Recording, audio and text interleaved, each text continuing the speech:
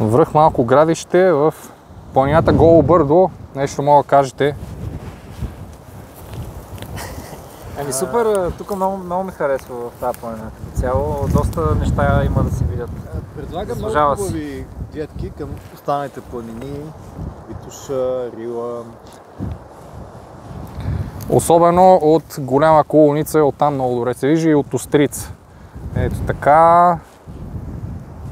Тук голямото градище, там хич е панорамно, е, си е всякъде в гора. Ветрушка, там има добри гледки. И връх Кобила има, ето там, много добри гледки. И така, това в гората е ранчовото градище. И надолу е хижа Слави, откъдето се идва.